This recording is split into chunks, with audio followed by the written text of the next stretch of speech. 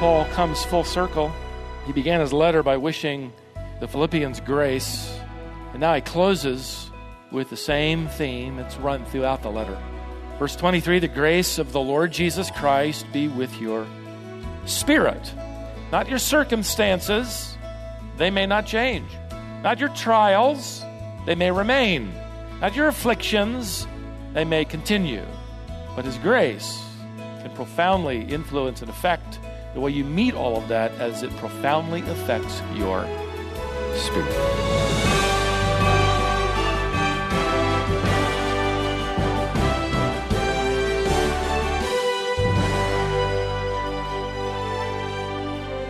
As Paul closed his letter to the Philippians, he wished them God's grace.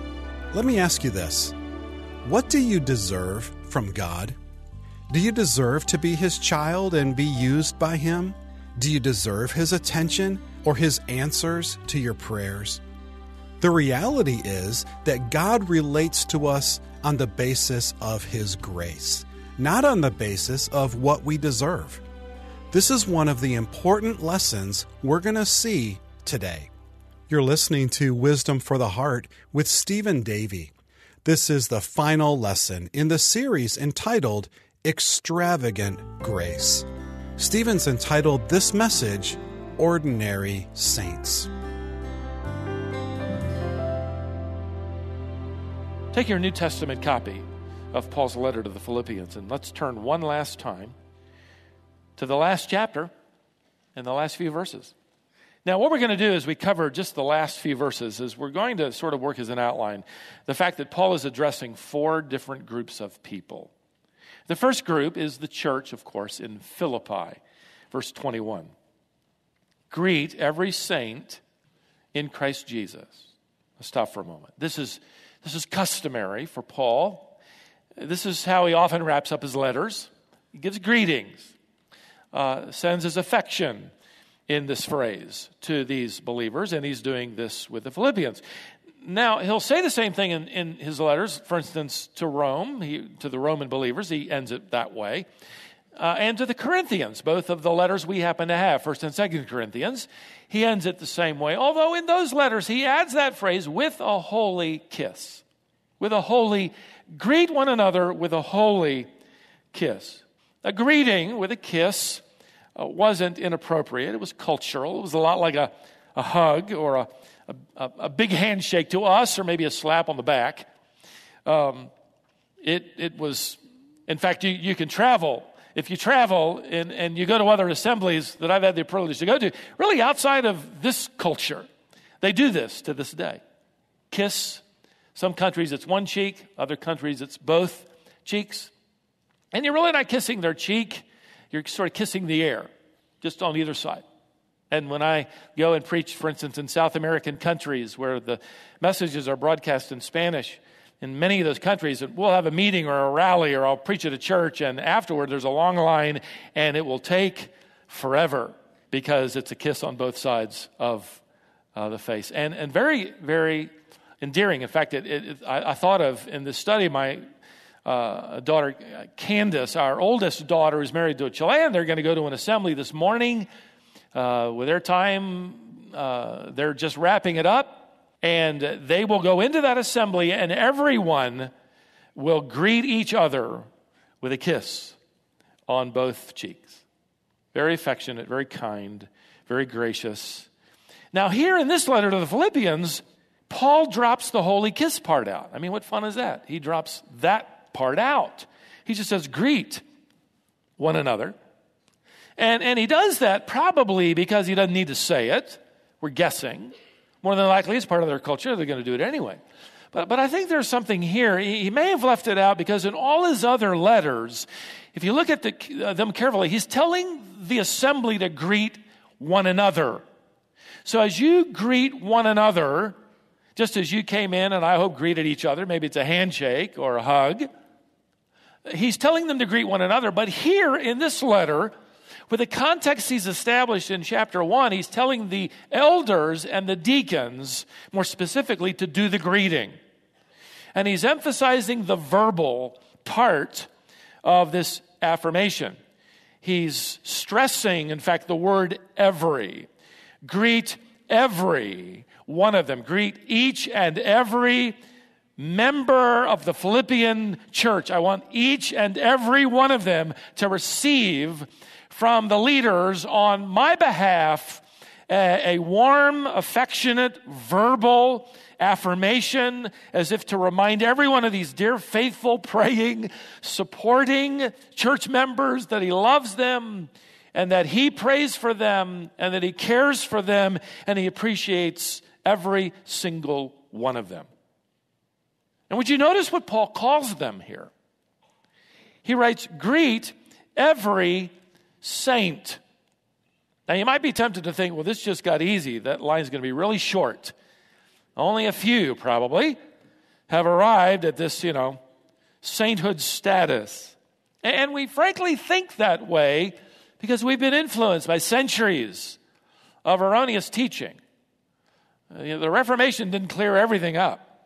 The Western Church, the Roman Catholic Church, and the Eastern splinter, the, the, the Orthodox, Eastern Orthodox Church, canonizes those rare individuals who are very remarkable, have decades or a lifetime of some kind of uh, service and even miracles attested to them. And if you got all that in your, you know, in your resume, after you're dead, by the way, you can't be a saint when you're alive, after you're dead, you could be given the status of a saint. People can burn candles to you, venerate you, you might have a little statue in your likeness or whatever.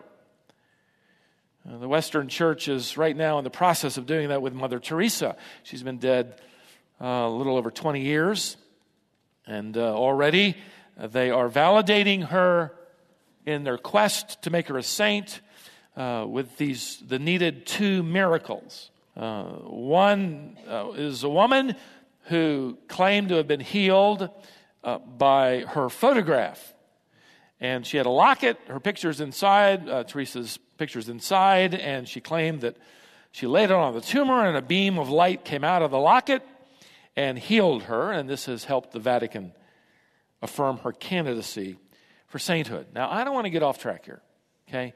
Um, because what I really want to do is point out the fact that, that even for us, we tend to think of saints as those amazing people and you know they've arrived. Spiritual celebrities would be the saints. Even outside the religious system, out there on the street, people will say, you know, that guy's a saint. You know, he's what a great guy. That that girl is that gal is a saint. What are they saying? And they're they're just, you know, nigh under perfection. I mean, what chance do any of us have? Well, for starters, you need to understand that all of what I just said about religion and what it requires has nothing to do with Scripture. It's all entirely, completely man made, not a shred of Scripture. And for those that are canonized and arrive at this status of sainthood, the church believes they're let out of purgatory, that's man made too. According to the Apostle Paul, this term saint, in fact, the term is hagios, it means separated one. Holy, it means separated. Holy is something dedicated to or set apart, sanctified unto. That's what it means. It's a reference not to special Christians, it's a reference to every Christian. Because every Christian has been separated unto God as one of his own. In fact, the term saint happens to be the favorite term of the Apostle Paul for the believer. He uses that term for Christians 40 plus times in his letters. He addresses all the believers here in Philippi. The letter started uh, by, by writing to all the saints, chapter 1, verse 1, and, and including the overseers, elders, and deacons. So the, the deacons, the elders, and every member of the assembly obviously implied in that is they're united with Christ by faith. They happen to be, all of them are saints. Saints. Even to the problem ridden, immature congregation in Corinth, Paul literally shreds any doubt about this term because he writes to them and he says, You are saints by calling. You are called a saint. A saint is not a superhero. It's not someone that has miracles connected to them or their photograph or whatever. A saint is anyone who has entered the life of Christ by faith in him alone. In fact, you notice that's the basis here. He writes in Philippians chapter 4. Paul clarifies greet every saint in Christ Jesus. Because of your union with Jesus Christ, your status immediately is sainthood. You're a saint right now. You're not a saint because you've got it all figured out. You are called a saint because God called you to himself by faith in Christ, and all who are in Christ are called saints. A special possession of God. By the way, there's nothing in Scripture that would encourage you or anybody to venerate or pedestalize or burn candles or incense to or pray to any past or living saint. That also is entirely man made. Saints are not people to be worshiped. Saints are people who worship the true and living God. All right, secondly, Paul acknowledges a group of people here in his closing remarks. The second group, notice verse 21 greet every saint in Christ Jesus. The brethren who are with me greet you. In other words, the brothers who are with me right now, just they don't want to be left out of the greeting, they want to say hello to. They want to express their affection and appreciation for you. Now, Paul doesn't mention here who they are. Uh, we do know, putting a few pieces together, this would have included Timothy. In fact, if you go all the way back to chapter 1 and verse 1, Paul makes Timothy the co author of this letter. They're together writing this. We're also told in chapter 2 and verse 25, uh, Paul is sending Epaphroditus to them from his side. He's, he's the one carrying the letter to the Philippians. With him, this man who, who really risked his life and his health to serve Paul and the church as unto Christ. And there are others we could, we could, uh, we could suppose, but he doesn't mention them. He simply calls them, though. The point I want to make is this He calls them brothers. Brothers. In Christ, we happen to be in the same family because we belong to Christ. So, who are you? You're a saint. You're a saint, and you're also a brother or sister to all the other saints in the family around you. We not only belong to God, we belong to each, each other. And we need to guard that perspective and to exalt Christ. So nobody's a big shot. Everybody is a brother or a sister in the family. Now, Paul acknowledges a third group. He writes at the beginning of verse 22 All the saints greet you. The context indicates Paul is now including all the saints in the churches in his area here in Rome, where he's under house arrest. And, and let me just pause. Don't, don't miss the graciousness of this man who is obviously being motivated by the Spirit of God. Don't miss his gracious spirit. We've already learned in former studies that the believers in Rome had abandoned him. E- even the church informally had written him off. Many of them believed he was imprisoned because he, he was getting what he deserved. They weren't visiting him. They weren't caring for him. They weren't financially providing for him. It would be this gift from the Philippian believers that would pay his rent. I mean, Paul could have backed the truck up here and said, You know, I wish there were some saints around here who would greet you too. There aren't any. Uh, that's Stephen's epistle. He is a bridge builder, and how gracious he is. He, he's building a bridge that these churches can walk across in fellowship one day. And, and with the best of intentions, and I think with a rather optimistic spirit, he says, I, the unwritten word is, I, I know they'd want to say this if, if they could, and we're not talking, or they're not talking to me, so I'm just going to speak for them. They, they want to send you greetings as well. How gracious is that? All the saints here greet you too. The fourth and final group that Paul acknowledges makes an appearance in the text. They're mentioned at the end of verse 22. All the saints greet you, especially those of Caesar's household. Now, here Paul becomes a little bit more specific, yet at the same time not mentioning any names, and more than likely that's for their own protection. It wouldn't be wise for Paul, he's an enemy of Caesar. And Nero's going to put him to death. He's an enemy of the state. He's considered treasonous. He will not, he will not worship any Lord but the living Lord. It's not going to be wise for Paul, who is an enemy of Caesar, to mention by name friends of his who are evidently embedded within the administration of Caesar. so he, he just kind of generically says and gets his point across. Uh, there are there are some saints that want to greet you too, and they're working for, for Nero. And the effect would have been the same. That would have been wonderfully encouraging to Philippi and the believers there. Paul is effectively saying there are people getting saved right under Nero's nose. And with that, Paul comes full circle.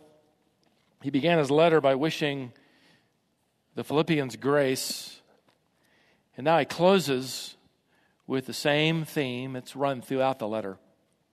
Verse 23 The grace of the Lord Jesus Christ be with your spirit. Who are you? You're a saint, a separated one unto God by his own choosing. To whom do you belong? You belong to God and his family, your brothers and sisters. What do you have? Grace. it is grace capable to meet every need that you'll have. In fact, I love the fact that he writes it this way the grace of the Lord Jesus Christ be with your spirit, not your circumstances. They may not change. Not your trials, they may remain. Not your afflictions, they may continue. But His grace can profoundly influence and affect the way you meet all of that as it profoundly affects your spirit. Grace. Grace is that unmerited, undeserved favor from God. None of us earned our way in. Sweet testimony of this couple earlier came to faith in Christ, leaving their Amish community a merit based religious system, discovering that it's a gift and receiving it by faith in Christ. Grace is undeserved. Grace is not merited. Grace isn't earned over a long period where you have a perfect track record. Maybe I can pray to God today because I've had a couple of good days leading up to today. And maybe He'll give me some attention. Maybe I can reach Him. Maybe He'll listen to me. See, we run that through our minds. Do I really deserve to pray to God today? Are you kidding? It's grace. Do we deserve to be used by God? Are you kidding? It's grace unmerited, unfailing, undeserved love and favor from God. I came across this news release, just a byline in a newspaper, but it kind of said it all. Lily Baltrip was her name, and she had a perfect record as a bus driver for the Houston School District. And according to the Fort Worth Star Telegram, she was going to receive an award for her safe driving. Her colleagues wanted to go along and cheer her on, and they were very proud of her, as, as they should have been. And so they all piled on a bus and, and uh, to go to the award ceremony, and, and, and Lily drove. On the way to the award ceremony, Lily turned a corner too sharply. It must have been exciting in there as her bannering about, and then flipped the bus on its side, sending not only herself but 16 others to the hospital for minor emergency treatment. She had gone her entire career accident free, and she's on her way to the award ceremony. Do you think she got that award? No, she did not.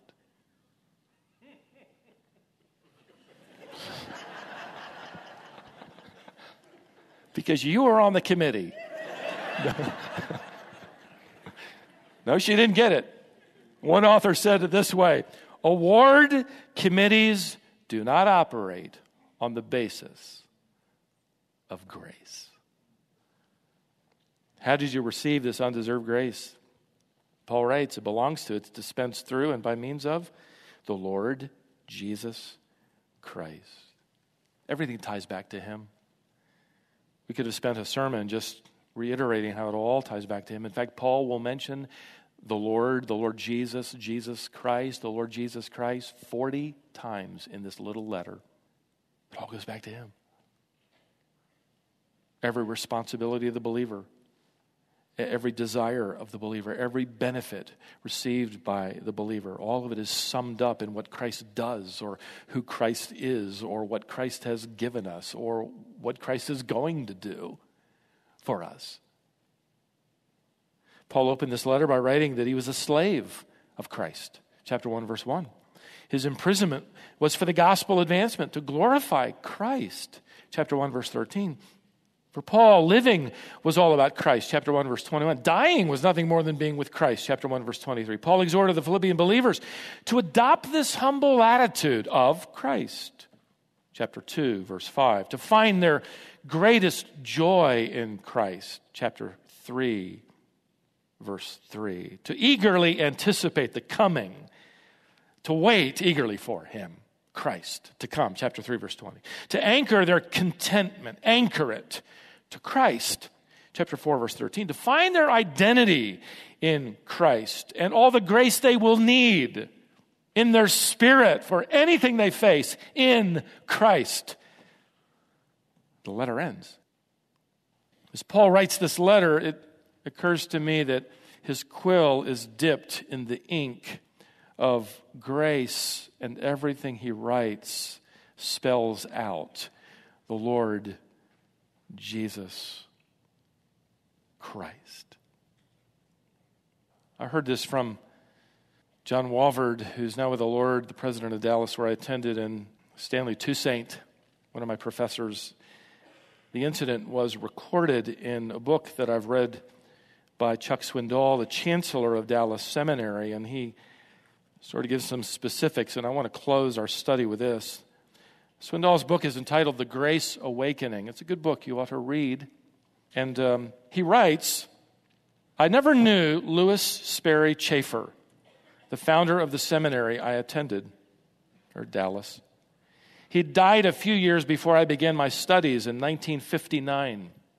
Swindoll writes Some of my professors knew him well, and without exception, they knew that he was an articulate defender of the doctrine of grace. One of my mentors tells of the time when this dear man of God had concluded his final lecture, and he was lecturing on grace. It was a hot springtime afternoon in 1952. He was an older man, now 81 years of age. He was teaching this particular semester, which would be his last, from a wheelchair. And when he ended his comments, no one in the class moved. Class was over, session was ended, but no one moved. Two men I talked to were in the class. It was as though these young church leaders were basking in what they had heard, awestruck with the insights and enthusiasm regarding God's grace. Then this gray haired gentleman rolled his chair over to the door, and as he flipped the light switch off, the class spontaneously broke into thunderous applause. He wiped away tears, his head bowed, and then he lifted one hand, gesturing them to stop. And as a hush fell over that class, he spoke, he spoke softly and unforgettably Gentlemen, for over half my life, I have been studying this truth, and I am just beginning to discover what the grace of God is all about. And a few weeks later, he was with the Lord. He was only beginning to discover the grace of God. I have to tell you, and with you, we have studied this letter, and I would have to say we are just beginning, right? To understand the grace of God. Who, are you? You're a saint. You didn't earn it, deserve it. It was given to you, this status, as a called out, separated one unto God. So to whom do you belong? To God. For as many as received him, Christ, to them he gave the right to become children of God. And you got a lot of brothers and sisters around here to get to know, to encourage. And what do you have? Grace. Whether we recognize it or not, beloved, we are living under a lavish downpour of grace. Grace enough to meet every need, grace enough to face every day until that day when we see Christ face to face, and then, and then the extravagance of His grace will begin to be unveiled in spectacular dimensions we cannot imagine. He is reserving incredible glory to reveal to and in us. And He will forever amaze us. And grace will always and forever define us. We are who we are, and we are where we are. This is just a prelude forever because of His grace. So, in the meantime, between now and then, don't forget who you are.